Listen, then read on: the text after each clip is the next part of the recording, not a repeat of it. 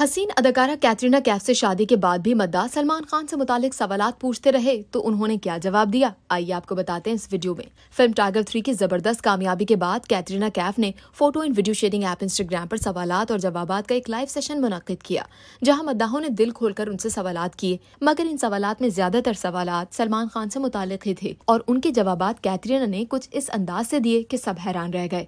अच्छा मौका देखते हुए एक सारिफ ने पूछा कि आपने उनके साथ बहुत वक्त गुजारा है तो हमें ये बता सकती हैं कि इस वक्त वो क्या कर रहे होंगे? जिस पर कैथरीना ने सलमान खान की खसूसी तस्वीर जारी कर दी और कहा कि वो कॉफ़ी पी रहे हैं। यही नहीं, बल्कि अपने वालदेन की शादी की सालगिरह के मौके पर वो घर पर ही मौजूद हैं। इसके अलावा एक और मद्दा ने पूछा कि एक माजी में सलमान खान ने अपने मशहूर जमाना गाने जीने के हैं चार दिन पर तो तौलिया इस्तेमाल किया था और अब आपने भी टाइगर थ्री में तौलिया इस्तेमाल किया है तो क्या आप उनकी नकल कर रही हैं? और इसकी वजह क्या है? इस सवाल के जवाब में कैटरीना कहती हैं कि उन्होंने तौलिया इस्तेमाल किया और मैंने उसे पहना था। फ़र्क है दोनों में। ख्याल रहे कि अब तक सलमान और कैटरीना की फ़िल्म टाइगर थ्री ने 300 करोड़ से जायद की कमाई करके नए रिकॉर्ड्स कायम कर दिए हैं।